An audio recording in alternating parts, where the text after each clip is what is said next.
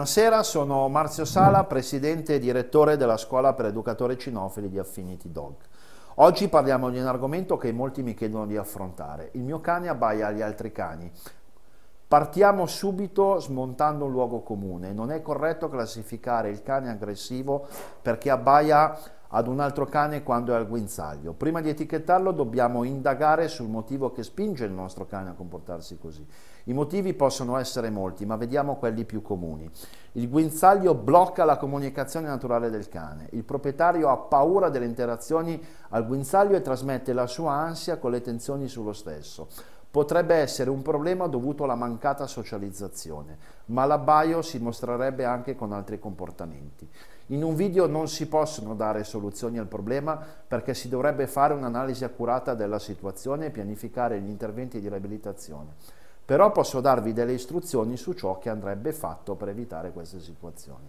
Partiamo dal fatto che comunemente il proprietario si accorge dell'abbaio verso un altro cane sotto stimolo, cioè quando i due cani sono naso contro naso. Dobbiamo stare molto attenti ai comportamenti del nostro cane, soprattutto quando siamo in passeggiata, perché il cane comunica anche quando è al guinzaglio. Il nostro cane, nonostante sia legato, comunica comunque usando le distanze per approcciarsi agli altri cani. Questo denota il fatto che se il nostro cane avesse fastidio verso un altro cane, ce lo direbbe molti metri prima, anche 100. È opportuno quindi mostrare attenzione al corpo del nostro cane. Quando il nostro cane ne vede un altro, il suo corpo comincia a comunicare. Concentriamoci sulla coda. Quando incrocia un altro cane, la coda comincia ad alzarsi con angolazioni sempre più ampie fino ad arrivare esattamente in linea con la schiena.